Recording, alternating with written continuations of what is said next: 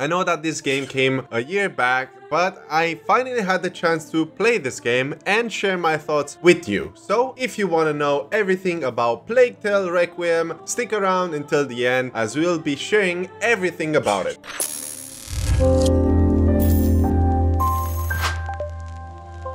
Hi, hello and welcome back to a brand new video. My name is Vasharal and in today's video I'll be talking and reviewing Plague Tale Requiem. First of all, I would like to apologize for any kind of noise such as that as our bird Zira has decided to of course interrupt every time I'm trying to speak. She does that every single time I am recording. I think she does that because she sees me quite animated in front of the microphone. So I want to apologize for any kind of noise coming from that. If you're confused about what's going on, it's not from any part of the video. It's just her deciding to mess about and make noises whenever I do this kind of recording. So I appreciate for sticking sticking around until the end and for understanding this. Now with that out of the way, let's go in the description of the game. Plague Tale Requiem is the sequel of Plague Tale in a game really dear to my heart, where you continue the story of Amicia and Hugo, who are our main protagonists of this story, in which you play as Amicia, the big sister looking after her young brother Hugo. Coming off of the first game, Innocence, sense, know very well that Amicia really cares about her brother as you can tell as you progress and if you play the first one Hugo goes through quite some difficult times as being ill of a particular illness and you're trying to figure out in the second one what is going on and trying to look for ways to help your brother alongside other interesting characters that you will meet along the way. This game is an action adventure with a linear story, so when it comes to influencing how the story goes, you do not have a hand in that. Pretty much the whole game focuses on the gameplay side and as well the storytelling side, where you're the participant of the story and you're not able to influence the outcome of the story. Although, despite having no saying how the story actually ends, you follow along in a very interesting way, very well paced in my opinion, in such a way that it keeps you interested and tells a really interesting story that by far, in my opinion, has been one of the greatest stories ever told. This game is required to be played in sequence with the first one, so if you haven't played the first one, I suggest that you stop the video and go ahead and play that game, then come back to this one as the story itself continues from where it was left off and it is really hard to point out a couple of things that that are happening in that story from the first one without spoiling it. So I will try to avoid to spoil that particular game. So I'll be a little bit cryptic when it comes to that. But still, if you're considering to play this game, I understand. But of course, you should definitely go and play the first one. You'll get much more accustomed to the whole gameplay features. That game is a little bit much more linear when it comes to that. And as well, the story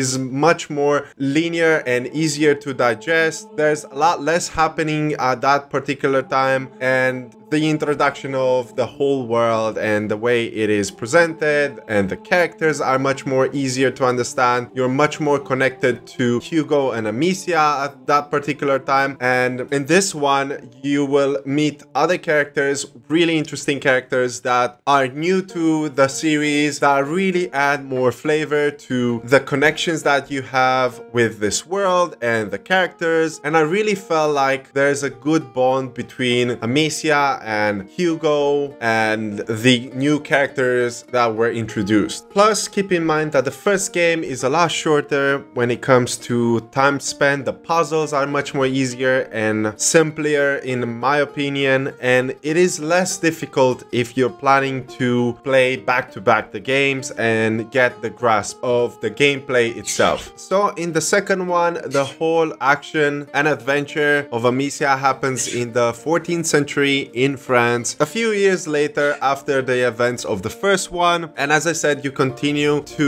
see what is going on with Hugo and Amicia. And this time around, this game becomes a lot more focused on breaking the limits of possibility when it comes to the world itself, the dangers that are happening. There's a lot of new things happening in this world which have a lot more severe consequences that I don't want to go fully in depth because you want to experience yourself, but it really scales up the cinematics and the feeling of anxiety, of suspense. It's ramped up to 10 this time. I really felt like the sense of danger is there and I think the developers did a really good job at telling this story and really improving over the first one, which in my opinion was one of the greatest indie game stories that I personally played and I've enjoyed. And as I've said, this game has been really dear to my heart. So when I found out the sequel came out last year, I was really happy, but my computer wasn't able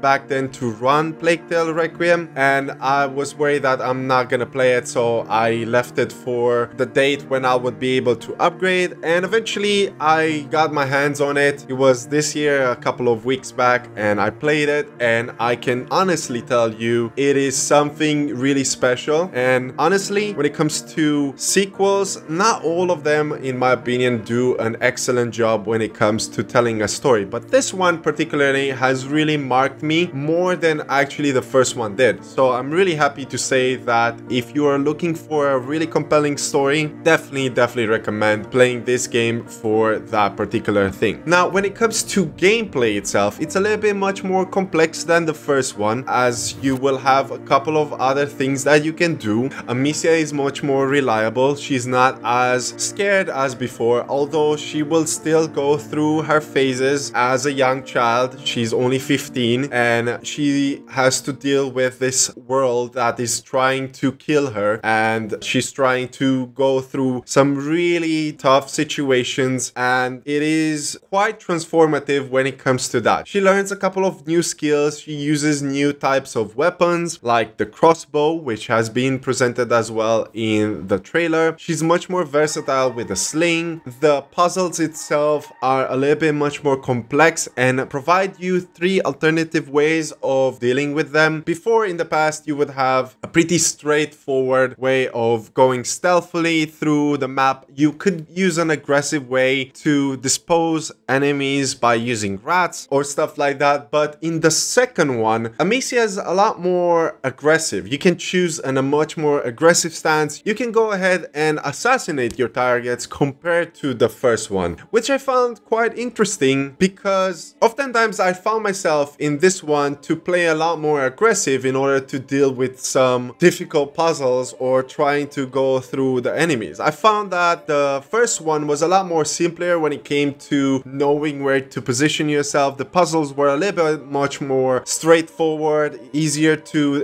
distinguish what you need to do and what you don't need to do, while this one felt a little bit much more difficult. So you had to take an approach and it kind of like pushed you in the way to play more aggressive and eliminate your targets a lot more safely than actually go and sneak around all the time. But of course, the game offers you the possibility to sneak. There, as I said, there are three ways. The first way is to go stealthily throughout the map and you get rewarded for it. There is an achievement called Sneaky, which you will get by upgrading your Prudence, which is your stealthy way of dealing so if you are going through a particular chapter or a sub-chapter without killing anybody, you will be rewarded with prudence skill points so that you can upgrade and get a couple of bonuses while going through the map. And if you choose to go much more aggressive, then you will have those aggressive ways by eliminating your targets. So the more you eliminate, the more you will get those aggressive skills that will help you out to give you a couple of extra bonuses. And the third one is to use your alchemy enemy skills to deal with enemies by extinguishing fires or igniting fires or making the rats attack an enemy and so forth. So it's more about using that and being more tactical, but not necessarily trimming through the whole enemies in order for you to get those skills which I found quite interesting. And it was pretty much similar to the first one, but it got a little bit much more complex when it comes to that, which I personally like. Although there's a few things like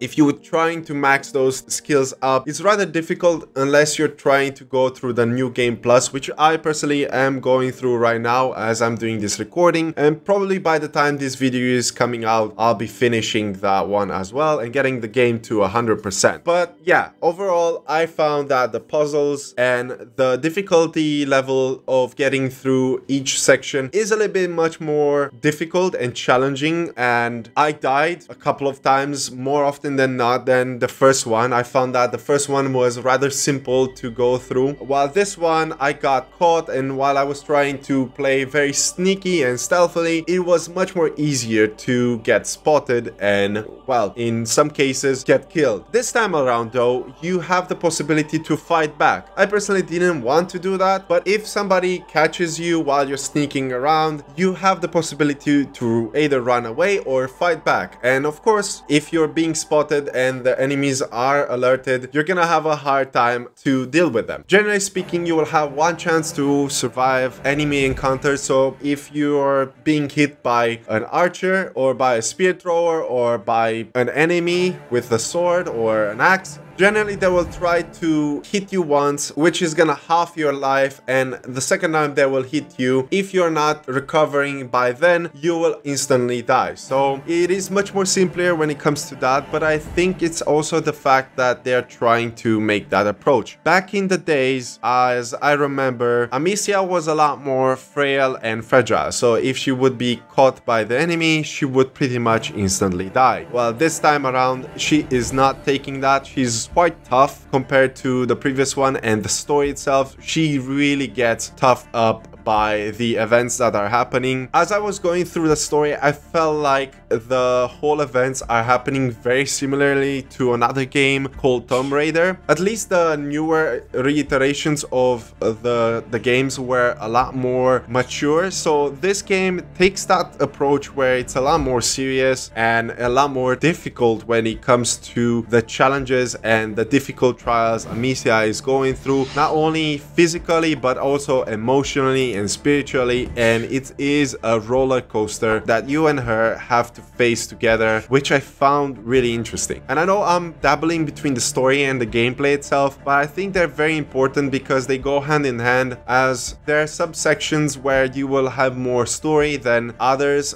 where you will have more to deal with enemy encounters. The game itself is divided by chapters and depending on the chapters you will have to do a couple of things. Some chapters will be more oriented towards dealing with puzzles and some chapters will be oriented dealing with enemies. They're both kind of the same, it's just that when you're having encounters with the enemies you really have to be extra careful to not be detected if you're planning to play more stealthily while the puzzle areas are much more deadly because you're dealing with the rats. So you have to be much more careful and it kind of jumbles around when it comes to that, but it does it in a such a way that it doesn't get boring when it comes to one way or the other. So whenever you're finishing, let's say an encounter with the rats by doing a couple of puzzles, you're gonna be followed by some events that are more with the enemies. And in some areas along the way, you will have a mix between them so you gotta be much more careful but I did find that using the rats at your advantage is probably the most approachable way unless you're trying to go with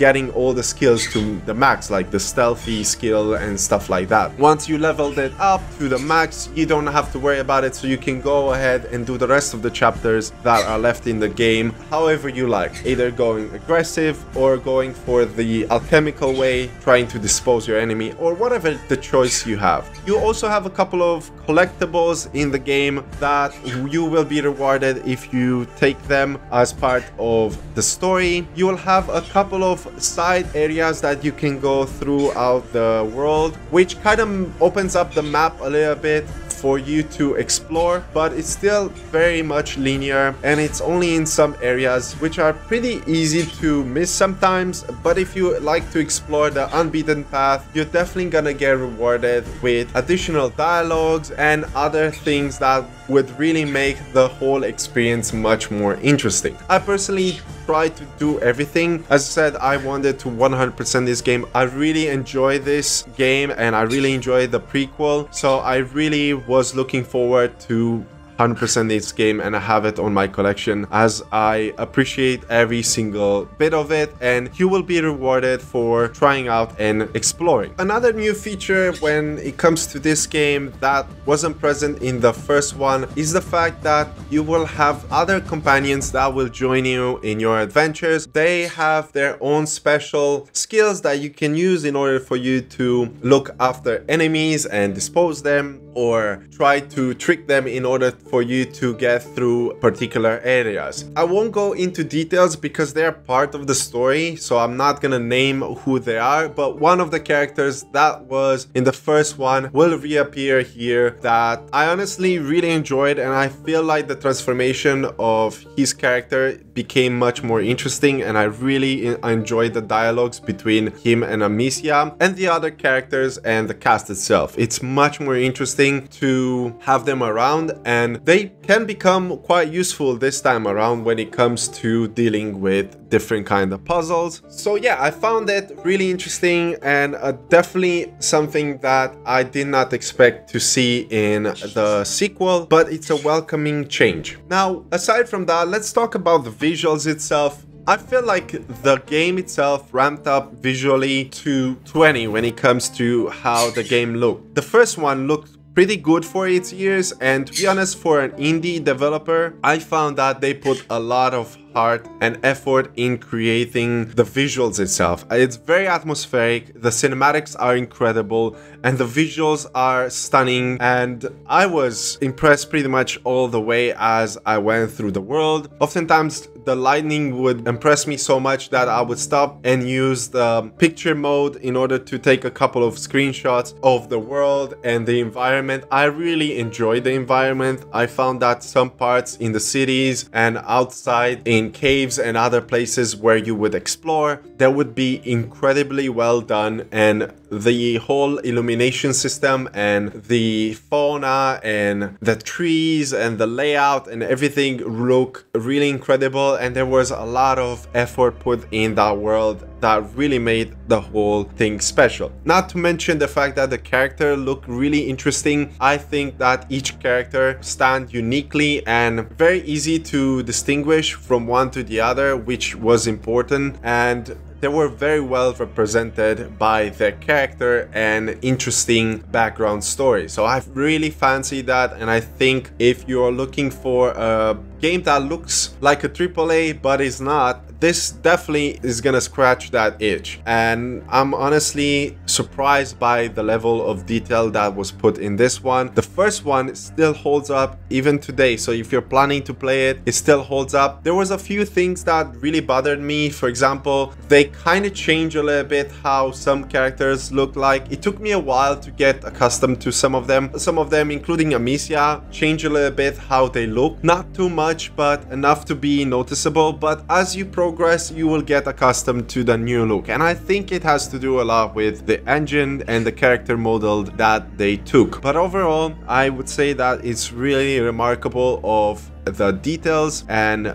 the care that was put in creating this world and sharing it the way it is. Now, when it comes to audio, I was honestly impressed and this time around I found that the music really played an important role in setting up the feeling for the game and how the story was. There's a couple of moments in the game where there's this instrument that plays pretty much every time something is about to happen and really scales up the whole feeling. There were a couple of soundtracks that really stuck out with me and I thought that they were incredible and after finishing the game I even went on Spotify and listened to a couple of them. I thought that they were incredible and they are memorable and a lot better than it was in the first one. Not to mention the fact that this game really feels 10 times more epic than the first one. The music itself really holds up to create that atmosphere and, and create that suspense that surprisingly caught me off guard. Not only that, but also the voice acting was incredibly done. Amicia and Hugo actually improved when it comes to that and Amicia would be probably the most noticeable one that you will notice from the first one. Hugo as well, I cannot say that it wasn't. He does have more dialogue than actually just calling Amicia every single time and the conversations are much more deep, much more emotional and much more stronger this time that I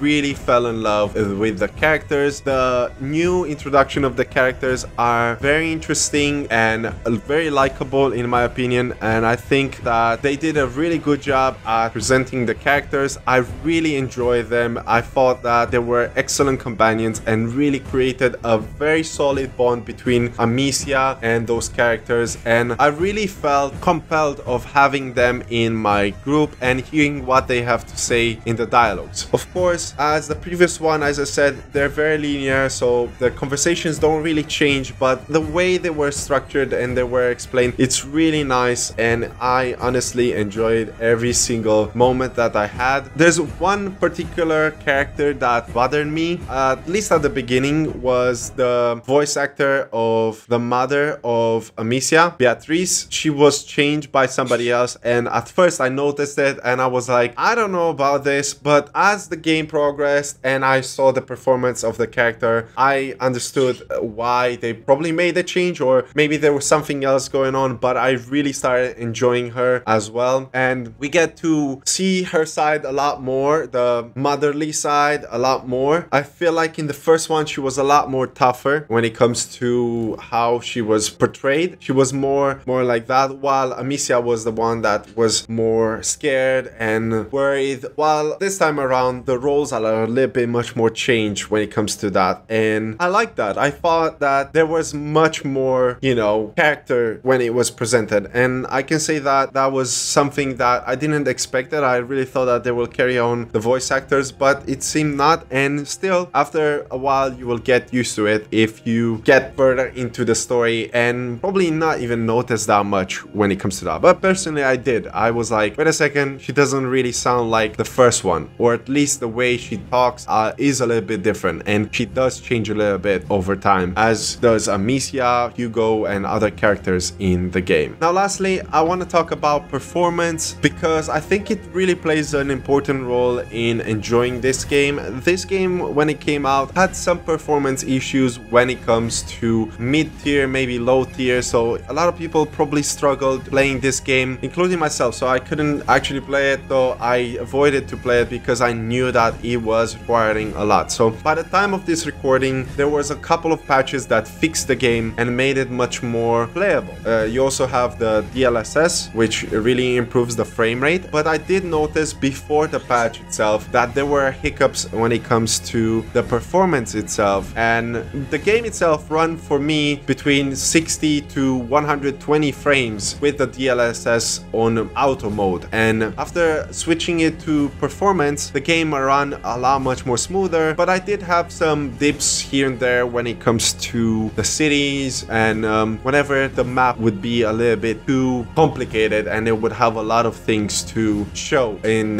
that particular way. Especially when you're looking down from a cliff or high area, you would notice that the frames will dip a little bit in the 30s or 40s and then spike back up. But of course, if you do have a much more beefier computer, I have a RTX 3080. If you're running with the fourth generation, you're probably not gonna feel that much of a problem, especially if you have the DLSS 3.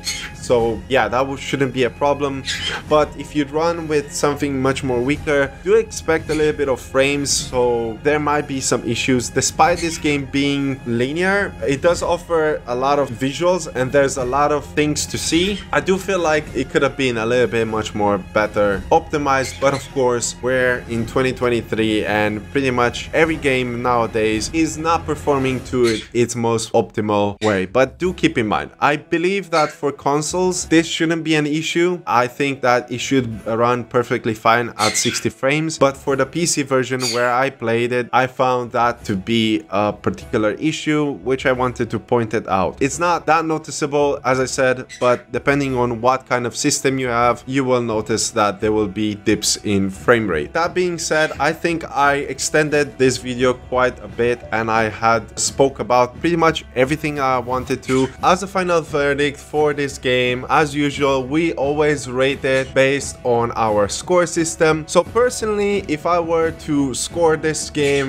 I would actually give it the rating of a masterpiece. I really enjoyed it over the first one. I really think that there were severe improvements in the storytelling, the visuals, the music, and the gameplay itself. But of course, this game might not be for everybody, but I urge you to try it out and as well play the first one and see for yourself if this game is for you. It does lack a couple of things that other games does better, but still I think it is worth keeping in mind. So overall, I would say that this game goes in the excellent, that would be maybe an 8 or a 9 out of 10 for others. So as a masterpiece, it would be a 9 or a 10 in our books. I thought that it was incredible and the performance done by the voice actor was incredible and the other characters really, really impressive. The visuals itself really impressed me and I can't stress enough how important it is to have this kind of games that really break the expectations of an indie developer and I'm looking forward to see where this game lands next. So yeah, that is my overall opinion of the game. That being said, I want to thank you very much for watching until the end. I really appreciate it and before I end this video, I want to ask you if you enjoyed this kind of video, give us a thumbs up. It really helps us to reach to more people as we are trying to get to uh, 1000 subscribers and it would mean the world to us as we're trying to grow this channel and honestly we appreciate it. And if you do enjoy this kind of content and you want to see more of the things that we do we have listing videos for indie games and other games that you want to check out. And as well we're having discussions about video games and reviews like this. You can support us by subscribing to our channel. It really helps us a lot and turning on the post notification so that you're gonna be informed every time we post something new. As always and as i said in the previous videos you should definitely check our discord channel. We have over there a small community of people who enjoy video games like us. They enjoy indies they enjoy aaa games and we're doing over there giveaways. And because